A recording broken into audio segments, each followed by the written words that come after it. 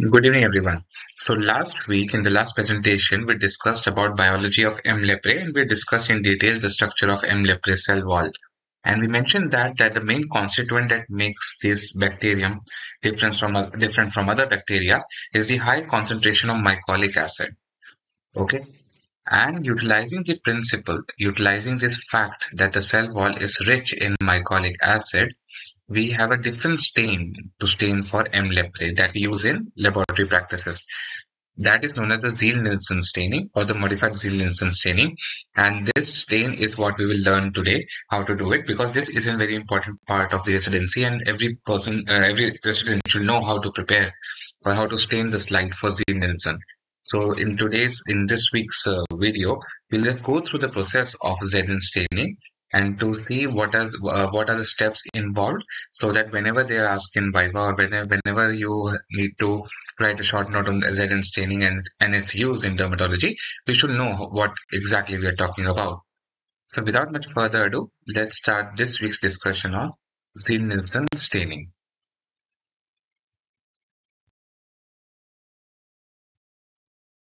So Ziehl-Neelsen staining is also known as an acid-fast stain. We discussed last week that acid fastness is a property of Mycobacterium leprae that allows it not to get very easily decolorized when exposed to acid alcohol. Okay, that is why the Zn stain is known as acid fast stain because you utilize it to stain acid fast bacteria. Zn stain is a differential stain. That means it uh, it uh, stains different structures differently. For example, if you use a stain uh, which colors everything in, in the same color, it will be difficult for it to differentiate the organisms which you want to see. In Zn stain, that being a differential stain, it stains the mycolic acid containing mycobacteria red and the background is blue so that the contrast is increased and we can better identify the bacilli. So if you can see in the picture, the mycobacterium are stained red while the background or the other epithelial cells are stained blue. That is because you utilize two different stains of different colors to stain each and every different structures. So an example of differential stain is Zn stain.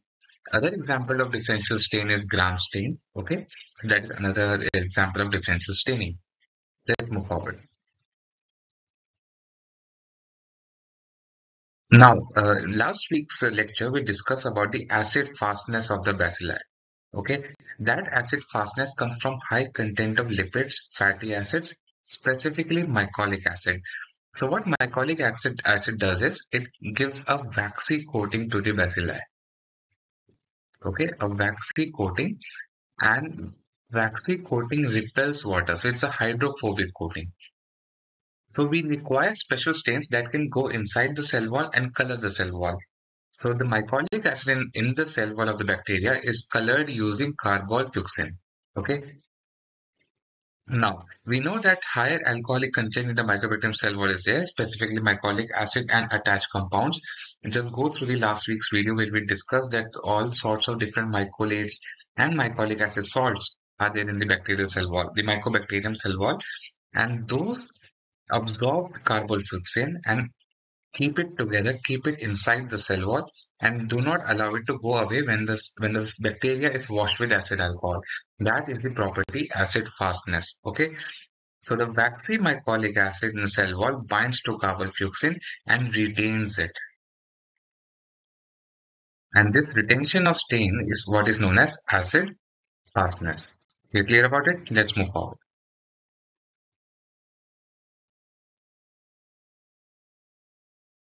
Now, in order to do an acid uh, Zn staining, these are the minimum materials that you require. So first of all, you require disposable surgical gloves because you're dealing with an infectious material. You're staining for M. So uh, sterility has to be maintained and protection has to be there. So use disposable surgical gloves. Then you have the prepared slide in which you have made the smear taken from the patient or the sample that you wish to stain. Then you have the first stain, which is carbolfuchsin. Okay, so carbolfuchsin is a red colored stain which will go inside the mycolic acid rich cell wall of the M. and will stay there. Okay. After that, you need a burner to fix the slide. We fix the slide on a flame, gently heating it. After that, you require 1% acid alcohol to decolorize it. So this is a decolorizing agent. So what it does, it, it removes the color from the entire slide except mycolic acid rich cell wall of M. leprae. And the concentration changes as per organism. If you're dealing with M. leprae, you want to stain with M. leprae, you use 1% acid alcohol. Now, if you're staining with MT, uh, Mycobacterium tuberculosis, then you require a stronger decolorizer because MTB resists decolorization more as compared to M. leprae. So you need a stronger agent. But if you use a stronger decolorizer to stain for M. leprae, it, the stain will get washed off. So you require a weaker, relatively weaker decolorizer. So for M. leprae, we use 1% acid alcohol.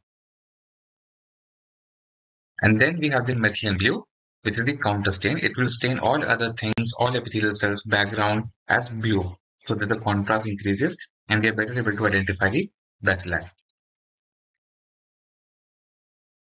So the procedure is actually is very simple and if you understand the logic, you will never forget what, what is the process, what are the steps involved, okay? The first is heating and fixing the smear on the, on the slide. For that, you use a Bunsen burner, okay, a Bunsen burner for a gentle flame. Then you stain with the first stain which is carbolfuchsin and then you heat the slide. Heating facilitates the penetration of stain in the cell wall. So when you heat, the mycol, the stain penetrates deeper into the cell wall and stays there. But remember when you are when you are heating the slide in ZN stain, there should be only gentle steam on the stain. There should be no boiling. If you boil the stain, then the bacilli will die. You will not get anything in ZN stain. You will just get fragments. You will never be sure whether they are bacilli or something else. Okay, so only a little amount of steam should come from the stain. After that, use a decolorizing agent. So this 5 to 20% sulfuric acid is the initial decolorizer in the uh, in the process described initially. But now, in fact, in nearly all of the labs, what we use is hydrochloric acid diluted with 70% alcohol solution. So this is what we use. In fact, if you uh, go to your lab and see what decolorizer they use, you will find it's uh, HCl with 70% alcohol solution. The second stain is methylene blue. The full name is Loeffler's methylene blue. So this has been asked to me in a viva that what is the name of methylene blue? It's Loeffler's methylene blue, which is the counter stain. Counter means it will stain everything else except the bacteria. So it will stain the background with a light bluish hue. It will stain other cells which are not mycolic acid rich blue. We clear about it? Let's move forward.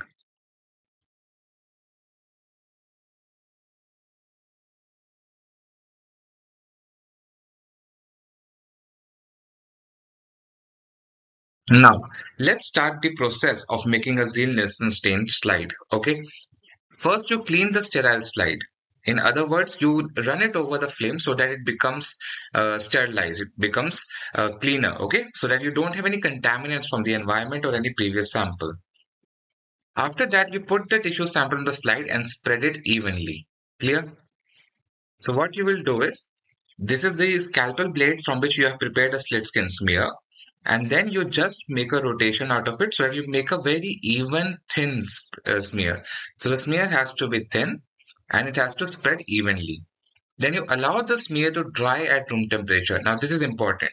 You, you heat the slide first to sterilize it, but if you heat now, you will destroy the organism and it will lead to a false negative stain. Okay, you will kill the organism. There's no point. You make a evenly spread thin smear and allow it to dry at room temperature. Clear? Let's move forward.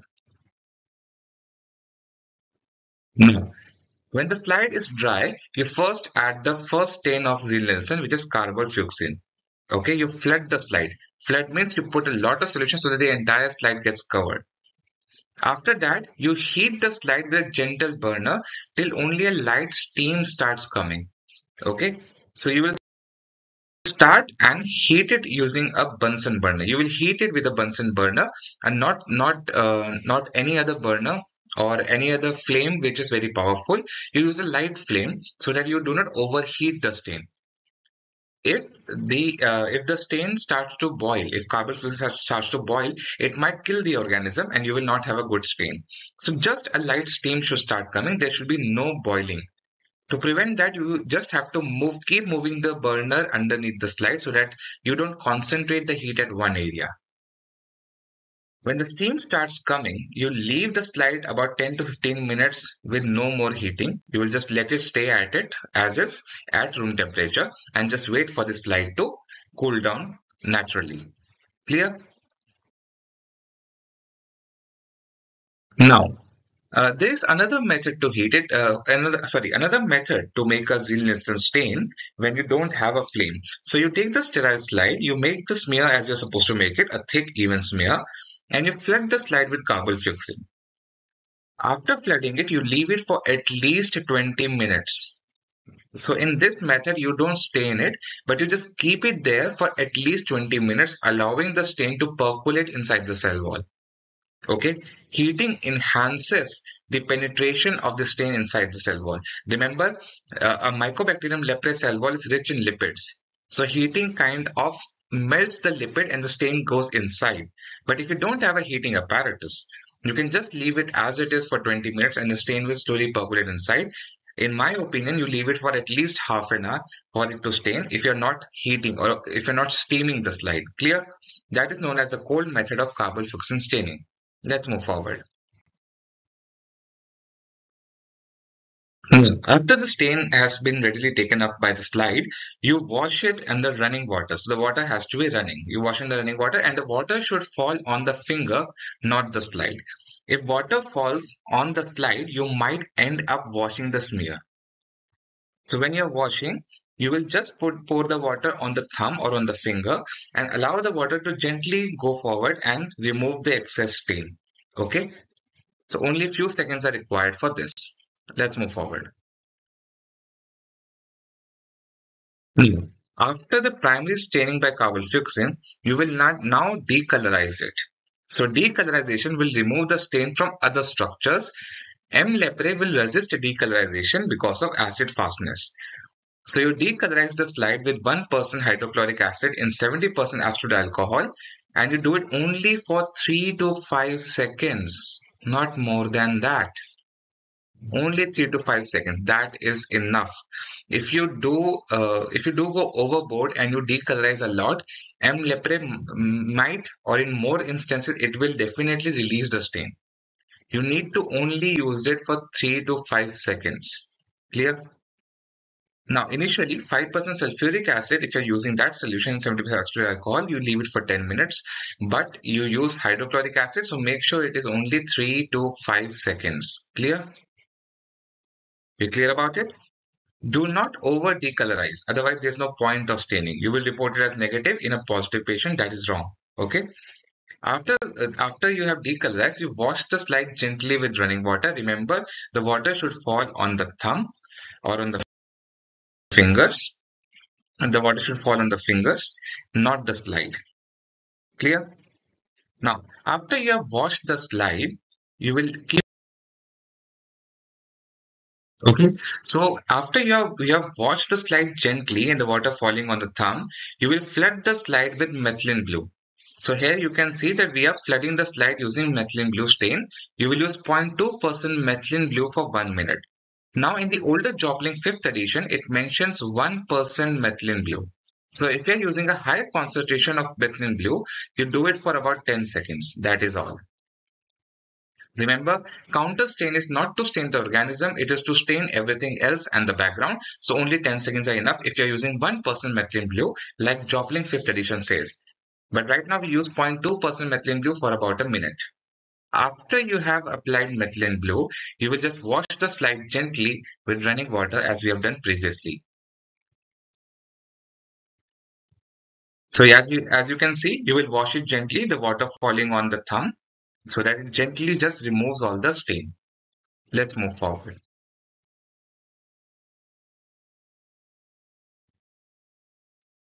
Now, after you have made the slide, you will put it on an incline on a blotting paper so that all the excess water is absorbed.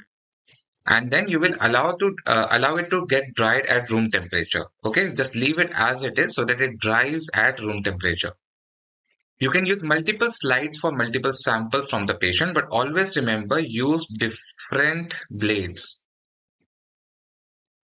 Different blades for different slides sorry different sites So a blade for this year, another blade for this year, whatever sites you're doing, it's a good idea to use multiple blades. If you don't have multiple blades, the book Jopling 5th edition mentions that you can heat the blade on a flame, wait for it to cool at room temperature, and then you may use again. But if you can always use different blades for different sites, even in the same patient, or else you might contaminate the all different smears. Okay. So after you have kept it for drying, let's move forward. Now, on examination, yeah. So you always examine the slide under 10x objective. No, uh, sorry, 10x uh, eyepiece and 100x objective lens. And if you're using 100x objective lens, you use you need to use oil immersion. So the slides are seen or examined under 100x objective lens. Clear?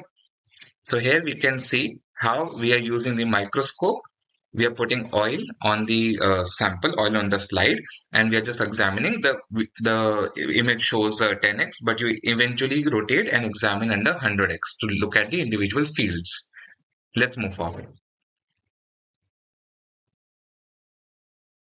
Now, these are some speeding recommendation, uh, other another reading recommendations. But if you have gone through this short video, you will realize how to make a Ziehl-Neelsen staining. And uh, my special thanks goes to the Ankur Rathore, Sonali, and Purn Pragya for uh, giving me access to the media that you see in this in this uh, video lecture. And uh, mm, thank you. It, this video will not have been possible without your help. So thank you for sending me those videos it becomes easier for me to teach when you can see actually what is happening. So with that being said, again a shameless plug, do consider becoming a Ruby member. We have different, more exclusive videos, more exclusive, detailed, longer videos for members. And uh, in that you have access extra information and all the topics that we eventually handle in different lectures. I usually create polls so that I can find out what members would like to see. So with that being said, I will uh, request you to consider becoming a Ruby member. And if you can, do consider becoming a Sapphire member. That's a step above Ruby members. You have priority reply to comments, exclusive polls, and another priority for suggestions. And you can have same day or earlier access to videos. I put my first access goes to Sapphire members and then eventually to Ruby members. With that being said, I will conclude this short video on Ziehl-Neelsen staining. Uh, I've gone in detail stepwise how to create a smear and stain it with Ziehl-Neelsen staining. This video along with another video on, on how to prepare a slit skin smear uh, if you see both these videos together and I would request all the residents or all the other doctors who really want to stain it, do the stain yourself. Don't rely on microbiologists if you can. If you make the smear and you stain it yourself uh, immediately, you will get better results. And making a Ziehl-Neelsen staining uh, stain slide is a very important aspect of resident training. We need to do at least gram staining, Ziehl-Neelsen, KOH, wet mount. We should know how to do it ourselves and examine them so that we can create a good remote reports. Okay. All the stains are observer dependent. Okay, they are staff dependent. So staff has to be trained. So what happens if you go to another location as another doctor and the staff is not trained? So you need to see the slide yourself.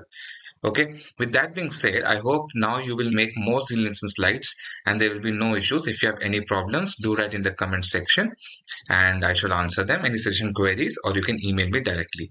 With that being said, adios and bye-bye.